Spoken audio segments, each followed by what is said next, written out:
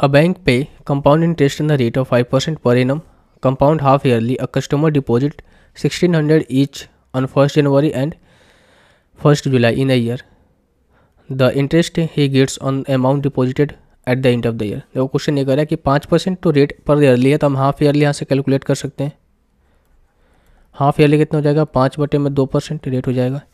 अब बोल रहा है कि एक जनवरी के इसने सोलह सौ रुपये जमा किया तो सोलह सौ रुपये में ब्याज कितना मिलेगा? सोलह सौ इंटू पाँच बटे में, दो बटे में सौ। तो यहाँ से जो ब्याज इसे मिलेगा, कितना मिलेगा भाई आपका? चालीस रुपये। पहला केस में ब्याज उसे चालीस रुपये मिला, ठीक है?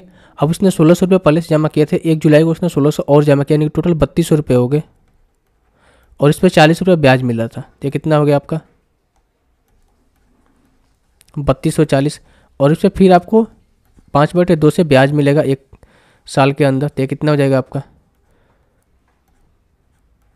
ये कटेगा चार से चार बत्तीस चार एकम आठ। तो यानी कि इक्यासी रुपये सेकेंड बार में उसे ब्याज मिला। यानी पहले बार में फोर्टी और दूसरे बार में एटी वन। तो यहाँ से टोटल कितने हो जाएँगे आपका? वन ट्वेंटी वन तो एक वर्ष के अंत में उसने कितने ब्याज मिले? One twenty one rupees option number two